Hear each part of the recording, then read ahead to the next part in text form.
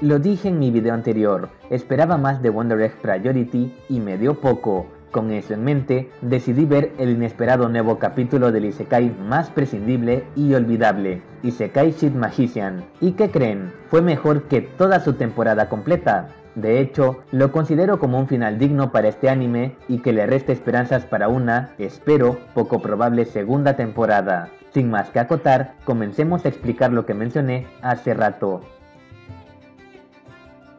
porque recordar es volver a vivir. La sinopsis de este anime dice así, Teishi Nishimura y Rin Asuma son dos estudiantes y amigos de la infancia que, como todo Isekai, son invocados a otro mundo con mucho poder. En este nuevo mundo empezarán nuevas vidas desde cero.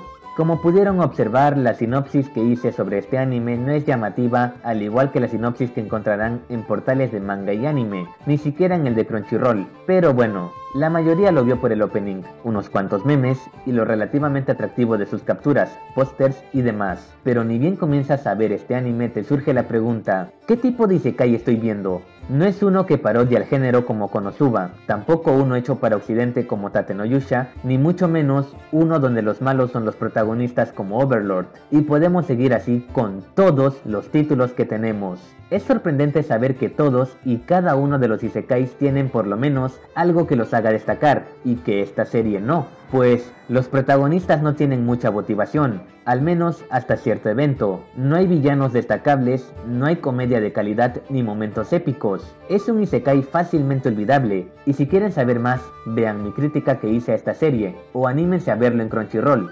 Entonces, ¿qué motivó un nuevo capítulo? Pues la retransmisión de la serie en tierras japonesas. Cuando llegó a Occidente, decidí verla con bajas expectativas, pero me sorprendí al notar tres cosas que se mejoraron y mucho en este episodio. La historia, la musicalización y los personajes. Con solo 24 minutos aproximadamente, nos brindaron una historia coherente, recordable y que funciona como un perfecto cierre a la historia de Taichi y Rin. Nuestros protagonistas regresan a su reino, y justo en la celebración de una especie de Día de los Muertos, y hacen algo que pocas veces se vio en la serie, cosas interesantes. No son muchas, pero al menos sirvieron como excusa para verme este anime. Fuegos artificiales con magia, postres hechos con magia, bailar con fantasmas, etc. La musicalización no es perfecta, pero en un solo capítulo nos demostraron que de haber tenido momentos como les mencioné, por lo menos hubiese sido mejor valorada. Amé las composiciones que escuchas cuando los personajes hacen postres o cuando comenzaba la danza con los fantasmas de aquellos que perdimos en vida, pero por esta celebración se reúnen con nosotros a cambio de una ofrenda. Cualquier parecido con cierta simpática tradición mexicana tal vez sea mucha coincidencia, tal vez,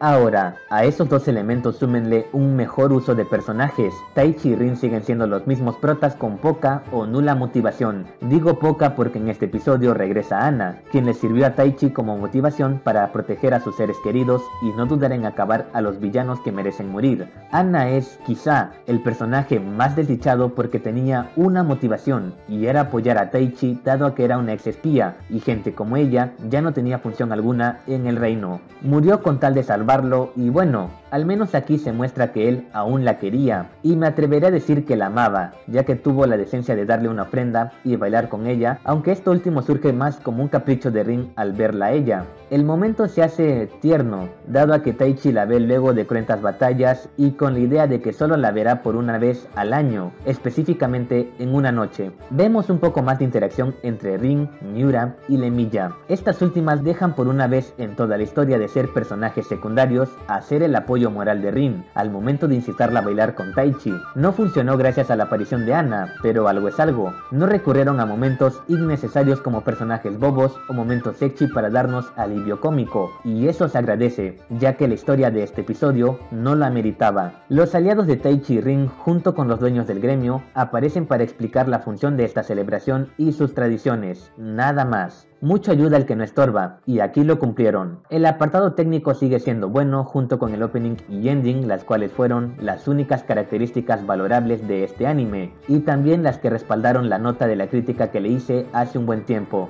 En serio, eran lo único. Me dirán exagerado, pero al menos para mí, este episodio fue una disculpa de los realizadores por hacer una serie tan olvidable como innecesaria. Bueno, al menos su final fue cerrado, y esperemos que no le den una segunda temporada, pues prácticamente tuvimos que esperar un año y medio por un único momento digno de mencionar. Toda la serie es aburrida a más no poder, ¿Cómo me incentivé a terminarla? Sigue siendo un misterio. Insisto, quizá digan que exagero, pero yo los invito a ver el anime y buscar al menos un episodio que cumpla con los tres elementos que mencioné, y de paso que sea muy recordable. No hay no existe. Dicho esto, su calificación es un modesto 4, irónicamente la misma nota que su predecesora, pero en este formato el número 4 o 5 son las notas más altas posibles y las que pueda aspirar esta serie, ya que en mi opinión yo no busco argumentos sólidos y más bien menciono lo que siento. Si hubiese sido más objetivo, entonces hubiese criticado el hecho de que la musicalización fue bien implementada, pero no deja de ser prescindible, los ambientes, el estilo de dibujo y bla bla bla, y eso que tampoco mencioné que el manga y novela ligera de este anime fueron abandonados por todos los scans de Latinoamérica. ¿Por qué? Bueno,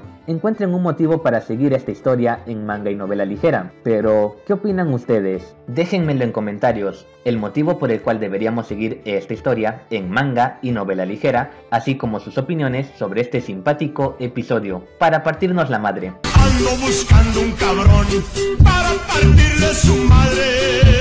Ok, ok, no, pero igual es interesante leer sus simpáticas opiniones. Sin más que decir, me despediré no sin antes pedirles un like al video, una compartida y una suscribida al canal. Síganme en Facebook e Instagram para más contenido. Soy Sam Leonardo y nos vemos hasta la próxima.